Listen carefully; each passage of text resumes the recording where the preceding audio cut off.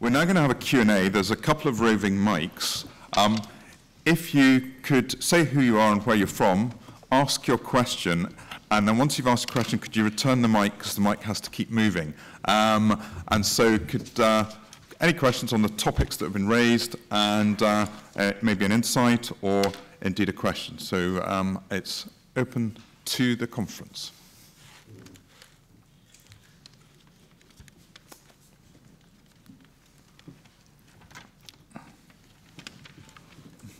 Hi there, uh, Keith, Harry Young Company. Um, I'd be interested to understand what the panel think may be the future for the likes of uh, the uh, retail warehouse market on the basis of can you see a time when they're repurposed to the last mile um, and the th third party delivery uh, operators moving out of retail entirely and moving into that section? start with that. Thanks, Stuart. Um, I, I, I, actually, I mean, the theory is, is, is, is sound. It's a rational thought process. Um, I think, though, we need to see massive rental deflation before that becomes a reality. Um, to give you a flavour, um, we, we own a, what's called a Tesco dark store down in, in southeast London, in Croydon um, where we've just agreed the rent review, the rent's just gone up from £7 to £10 a foot.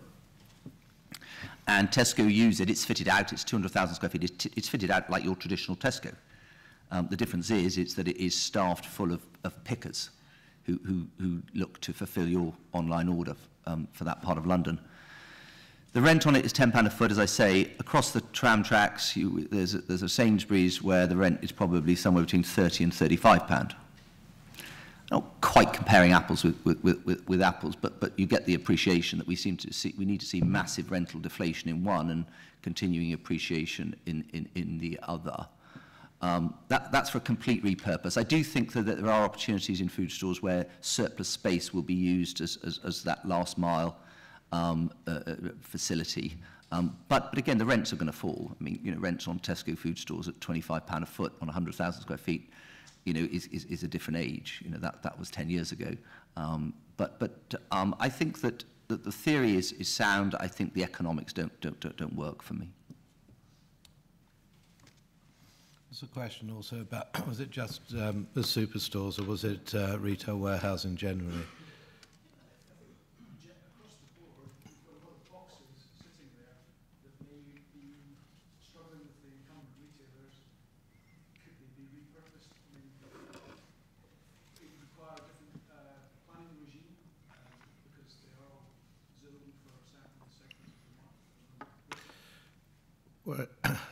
Looking at it just objectively in a, in, in a broader sense, um, land is always valuable. There is always a question of repurposing land, and uh, we see it. It's interesting, isn't it, that um, looking at uh, a, a large portfolio of mainly London-based properties that's for sale at the moment, um, one of the most valuable uses is last mile logistics where I think in London now last mile logistics is actually getting up in the, in the 20 pounds a foot level um, to the extent that uh, there are some old office buildings that are actually seeing last mile logistics going into them because ceiling height is not so important for that particular thing. So I think repurposing is something that continues to happen in real estate and I guess that uh, I think also the thing I heard today was that there are various different uses. So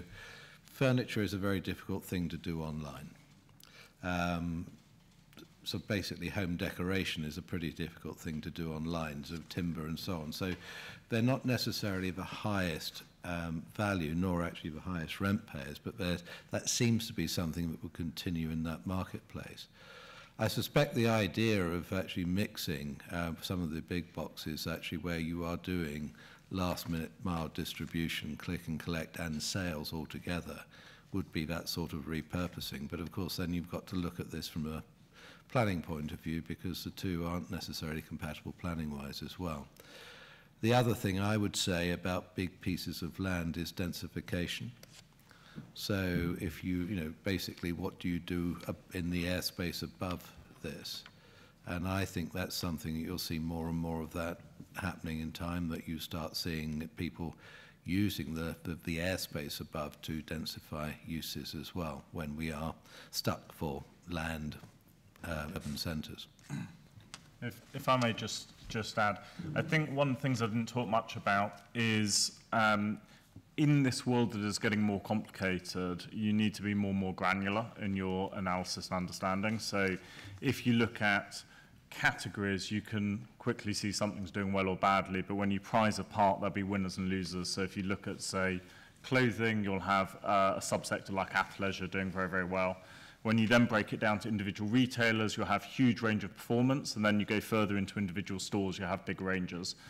If you take that to the real estate sort of analogy, um, all retail parks or retail warehouses aren't equal, and the difference between sort of your traditional big box, box trade parks is very, very different to if you look at something like um, the Glasgow Forts or the, the Fort Kinnairds that we have in our portfolio. And actually, the strongest performance in our portfolio has been on those probably those sort of five or so larger um, uh, retail, what would have been called retail parks or shopping parks, uh, where we continue to invest and involve. But you're right, the demand is increasingly from different sorts of users, different sorts of retailers going into those spaces. Uh, so if you look 10 years ago and thought about people like Hotel Chocolat or Swarovski going into those spaces, they're not the first names that you would have sort of thought about for those kind of occupiers. Um, and so this importance of understand the space, the supply-demand dynamics, and continue to evolve is going to be ever more important.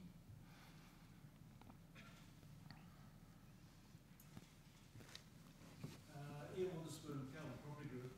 Can I ask the panel what their views are on infrastructure for transport and energy to sustain the likely growth needed uh, for, this, uh, for the all, all sectors? Um, well, it is. I think I think infrastructure is really interesting because it's something that, um, if you look at it in trends, most investors now actually see real assets as being what they're investing in, and real estate is just part of the real asset sector. Um, a number of the large institutions, the CEO of the real estate investment management side is actually CEO of Real Assets, Bill Hughes is actually head of real estate and infrastructure. And the two are inextricably linked. I mean, because infrastructure, take Crossrail. Crossrail is actually basically a piece of infrastructure which is changing value horizons across London. Um, and uh, basically, it is, uh, it is real estate because Crossrail is actually taking real estate, whether it's under the ground, above the ground, or the impact it has over. The other thing that infrastructure does is provide long-term, potentially CPI-linked income. Uh, and so if you look at it, I think it fits into this alternative category. Um, there's a lot of funds, Macquarie being one, that specialise in infrastructure. Um, we are working with a two Chinese clients that actually they are very, very focused on infrastructure. In fact, they've been selling all of their primary uh, portfolios globally in real estate and actually buying into index linked and mainly infrastructure type investments. So uh, infrastructure, I think, as a skill set in our industry, we need to sort of shape up for it because everybody wants it. From our side, um, it's less about the direct investment in the infrastructure, more around being uh, really focused on the impact on that on our sites. So if you look at London, um, the Crossrail example has been really key to our investment strategy over the last five years or so. So we bought the Paddington Central sort of uh, office campus. Um, a lot of that was driven by, partly it was local regeneration, but the Crossrail story, which we bought into, we already had Paddington at the other end. Uh, so we already had Broadgate near Liverpool Street. Uh, and then more recently, we've uh, added to our investments in Ealing and very recently in Woolwich as well, uh, because we kind of buy into that um, infrastructure story and the regeneration opportunities that that will bring about. I have nothing to add. Energy? Full of that. Um, energy as a, an asset class.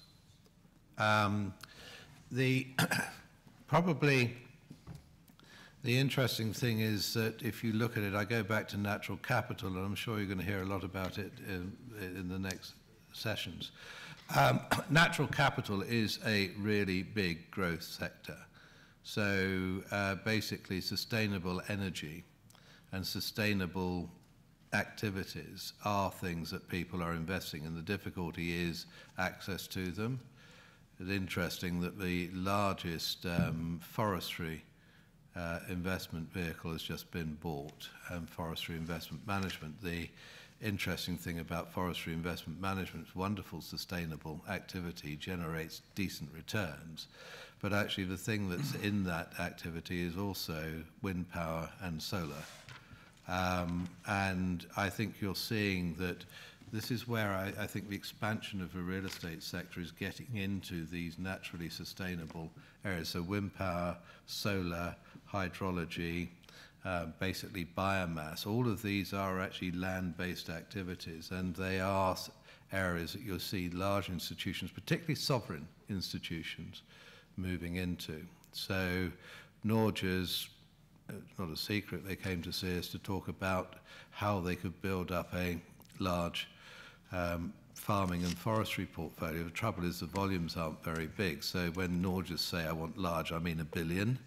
Well, that's going to take 10 or 15 years to amass. So that was, we're a bit disappointed with that story. But I think it's growing um, and it becomes part of the real estate spectrum. It's the real asset spectrum. It's this movement into alternatives.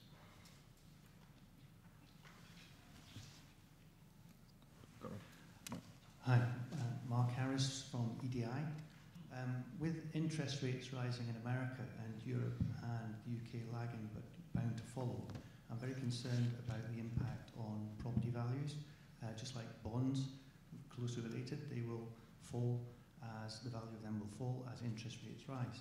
Um, and I wondered if the panel could comment on that. I understand the importance of income, the importance of income growth on capital growth, but the yield effect could be quite significant.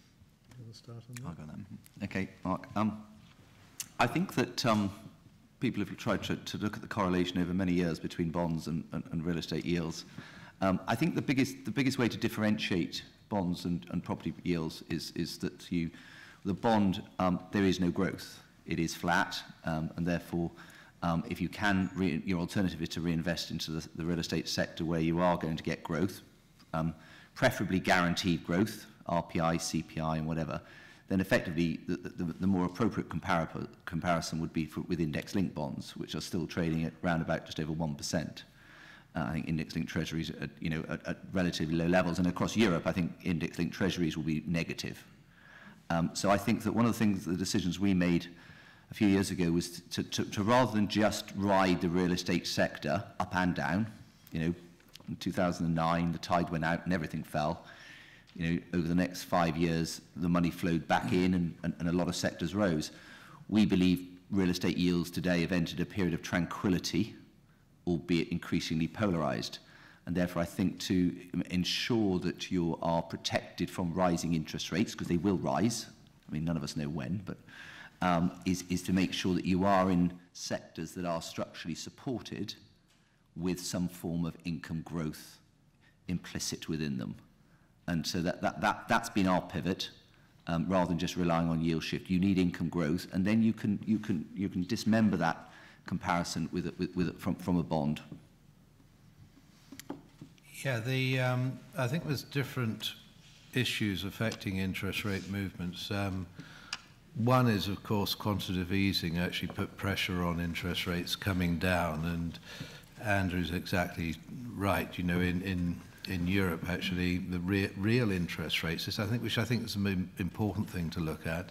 Real interest rates are largely negative. I think 40, 50% of German bunds are actually yielding negative real interest rates. So, you know, we've got to remember the problem we had, which caused all of this, was to actually deal with a fundamental banking problem we, we, we had in the economy. What makes interest rates rise is because central banks say we've got an inflation, we're worried about inflation, we need to make them, we, we need to put them up, or there is um, an issue of controlling economic growth to actually try and avoid inflation. The two are linked.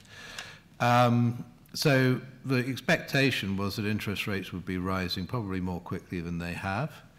Um, certainly, economic growth in this country is not something you suggest is actually sort of getting carried away with itself, and inflation um, is an issue. Oil prices have gone up again, but again, you put interest rates up, the effect on the consumer, where wage rates are not going up that, that, that much at the moment, has a real impact. So there's a real balance in this. If you look at the forward markets, the forward markets are not suggesting there's a huge hike in interest rates due. Um, effect on real estate prices, yes. Um, the first thing you have to look at, and of course you might hear about this later, is the, the, the, the level of gearing in the market. Because if interest rates are, go, affects uh, re, re, uh, re-leveraging pricing, then you would expect um, that to have an impact. But gearing generally is actually quite low, and most people are um, keeping uh, it low because actually that's what the, the REITs and the investors want. Um, in the US, it's different. You've got a rising economy, you have got rising inflation, but even then, the expected level of almost quarterly interest rate rises haven't happened quite to the level that you would have expected. Um, Another factor affecting us, of course, is the exchange rate, which is all Brexit driven, um, and that's imported inflation into the market as well. Um, logically, if interest rates rise because we've got inflation and economic growth, you'd expect to see some response in rental growth as well. And that's actually always been the, the, the, the, the balance. Um, but I think that the question you've got to ask yourself is, do we think, with quantitative easing being removed, which effectively they have stopped doing it now, from the marketplace, um, and asset prices looking fairly full, do we expect an adjustment because of you know movement in real values? And in some sectors, I think you can see that happening already.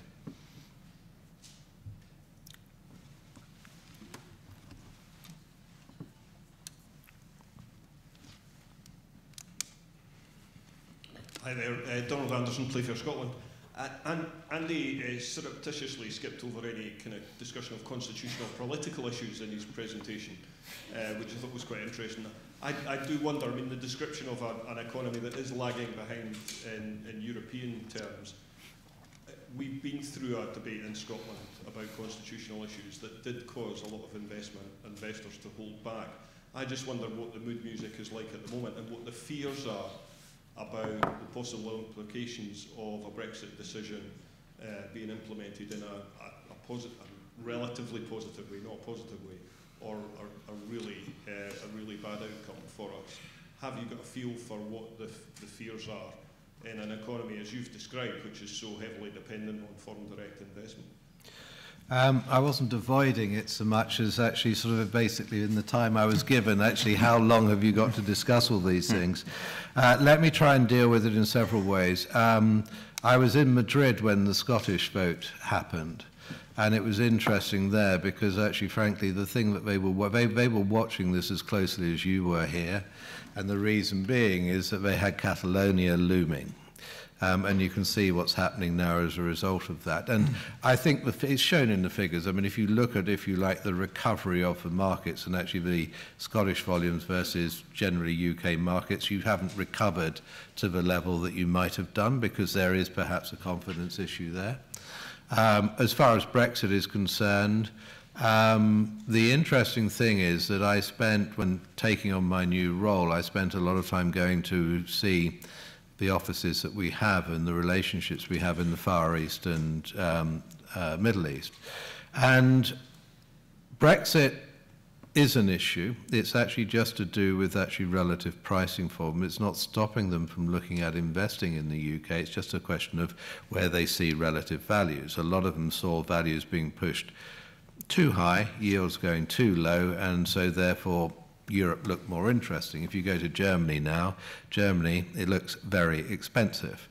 Um, the things that they were concerned about was that you know the UK economy is still a strong economy. It's not a, it's not a weaker. It's, it's, it's a big, big economy. So it's an open economy, language, law, and everything else. Transparency is important.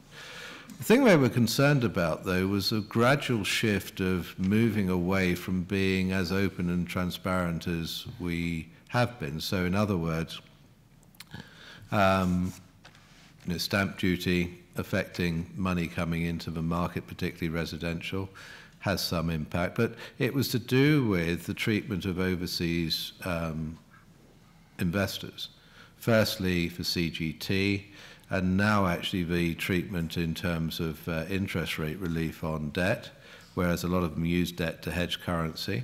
Um, so 2019, there is issue this issue about actually limiting the amount of um, uh, interest leveraging you can get relief against. And they've basically said those dynamics are changing in terms of investment as well. Um, I definitely think as far as Europe is concerned, a lot of European investors are rethinking the UK simply because uh, particularly German open-ended funds, they have to hedge. It's adding 150 basis points to their yield requirements, so that becomes an issue. Um, I think that the other thing is that you know you've seen this rise in populism across Europe, and I think that's also it's not just Brexit; it's actually which way is the economy going to go. You know, if we move more to the left, that has issues as well in terms of the way that some, and certainly if you look at it from a private individuals, the ones that are actually the new investors in the market, they worry about something like that too. So I think the politics at the moment is, you know, basically affecting confidence, no doubt about it at all. You know, institutions are looking for value, uh, global institutions are looking for value elsewhere at the moment. That's why the volumes are going down. Does that answer the question? Yeah. Great. Well, uh, that uh, closes our Q&A, and I'd just like to, at this point, thank uh, our speakers, Andy, Andrew, and Ben, uh, for their excellent contributions today. It's certainly a very uh, useful insight into to what's happening and the future. So if you could join me in thanking them.